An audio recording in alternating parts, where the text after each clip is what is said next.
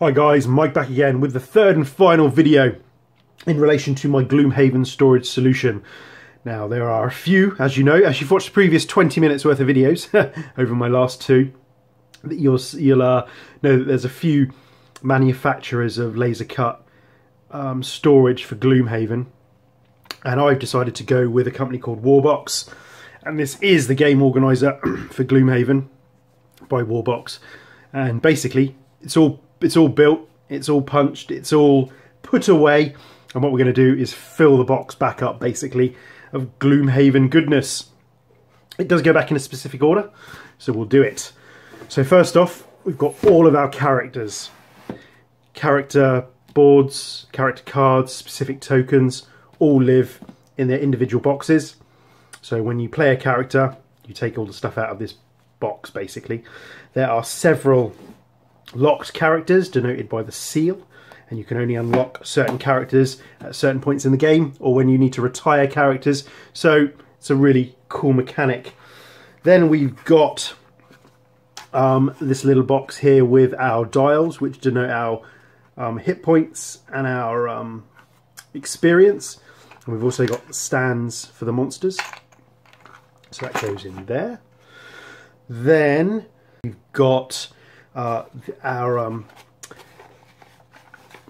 our tray for our larger cards. So plenty of room for expansion. There are large cards in here for our um, for our heroes. So there's there's room for expansion, and these dividers are not glued in. So I wouldn't glue them in. I wouldn't suggest you glue them in because you can um, then arrange the cards how you choose to. So goes in there. Then we've got um, miniatures. Each one of these has got a symbol on, each one of these has got a symbol on, and they correspond, and the miniature lives in this box denoted to your character, so you can pull the right miniature out, so they go in there. Then we've got... Um, what have we got next? Oh, then we've got our monsters. So each um, slot denotes a, a, monster, a class of monster. Uh, again, laser etched on the side. We've got our activation cards and our um, our stands, our um, standees to represent our monsters. And that goes down the side there. Lots of monsters in the game. And there's a second tray of monsters and cards. So again, easy access, easy to get, easy to pull things out of uh, the little slots when you need a certain monster. So that goes in there. Got this little tray here, just with some overlays, traps, whatever it might be each um, slot accommodates one type of, uh, of token. So I like that. I'm not like not doubling up on spaces particular tokens. So that goes there. Then we've got our monsters, this uh, skinny box here with all of the stats for our uh, enemies, monsters, whatever it might be, and the little envelopes that they slide into, and then you can, uh, uh depending on what level they are, and that goes there. Then we've got our uh, deck modifier. So these cards will modify what we can do. So I've made uh, four decks made up, and then we've got the uh, the additional cards here, and then obviously room for expansion because we've got our dividers there too, and that slots down there. So it's all going together very very nicely. It's just it's just so cool. It just all fits. We're getting there. Then we've got this box here, again, some overlays for the map tiles, which has got a lid, which is nice, but that just slots there.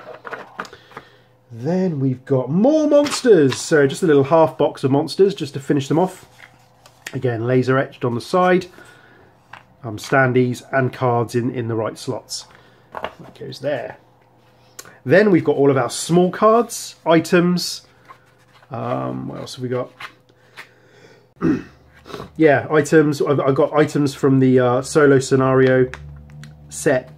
And there's some personal quests, I think, or are they on the large cards? I'm not sure. I've not started playing the game yet, so and I don't want to show you cards in case there's any kind of spoiler type thing. But uh, all the small cards go there. Again, dividers, so you can divide them up however you choose to. That's that. Then we've got more miniatures. So these are the rest of the miniatures in their boxes. This slot, I think, was for the, um, standees. The first printing of the game had standees instead of miniatures, and you could put the standees in there.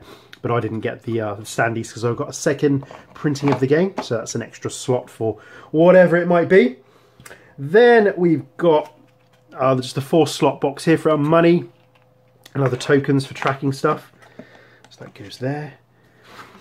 And again, more map overlay stuff, some counters.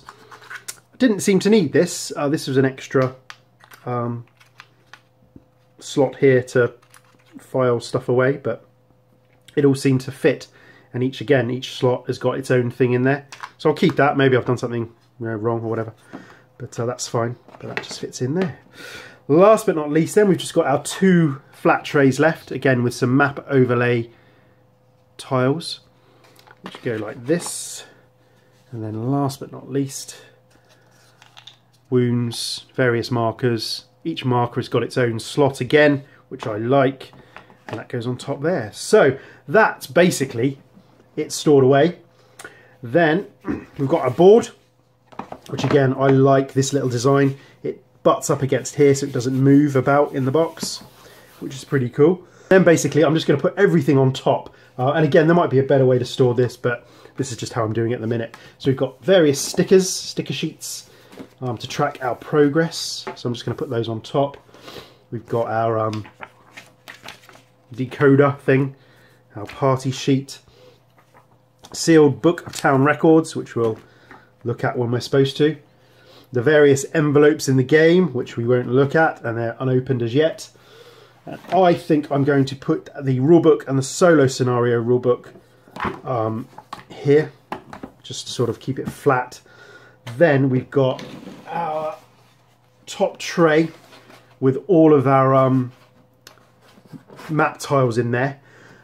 And again, I think I went for the Warbox because this was one of the few ones that had a top tray for your map tiles. Uh, the, the other ones I don't think have. I think the other ones you're kind of left with this and then you just put your map tiles on top, which is fine um, but I like the tray. So all the map tiles go in there, and then this little little bit of wood tells you where all the map tiles go in this um, in here. So that, again, I don't know if it's optimal, but there we go. We'll uh, we'll we'll have a play as we go. And then last but not least, we've got a huge scenario book, and again, just trying to find an optimal way to to get everything in so the box is pretty, but the box lid sits fairly flush. Um, although it does say on the website that you are going to have some sort of raising by about a centimetre, or well, between half a centimetre and a centimetre, depending. So, and that's it. So we will go table down just to look at the gappage or the um, the height of the box that it's already been raised up by. So you can see there, not much to be fair. And I'm pretty pleased with that, and I'm not entirely sure if I've packed away those tiles um, optimally, but there we go. So that is the Warbox game organizer for Gloomhaven. I'm really pleased with it. It's uh, it, it really satisfies my need for storage. Um, like I say, I mean, it, it, it was expensive. Yeah, 55 euros. That's that's not cheap. Um, but I think for the convenience, for the time I knows it, uh, for the time I know it would take me to build a, a foam core solution, uh, and the cost of materials and my time and all of that sort of stuff. I, I'm really pleased with this. Actually, I'm you know this is a wonderful game. I mean, I've not played a single game of it yet, but it's just such a. Um, it's going to be one of those games I think that'll that'll uh, that'll you'll be talking about in in years and years and years to come. It's there's there's nothing like it uh, out there, and I think investing in it is is really nice. And it's like yeah, I think it's well, it is the biggest box in my collection. I've got some large boxes of games, but I think you know, general content-wise, absolutely, there is so much in here, so much content, so much to discover, and I think investing in it, uh, for me at least, anyway, is is well worth the price. Um, I would highly recommend. I mean, you've seen it. I, I mean, I would recommend the Warbox. Um, again, your mileage may vary. You might like uh, a different manufacturer's way of doing things or storing things, but I really like the way this goes together. I like how it all stacks up.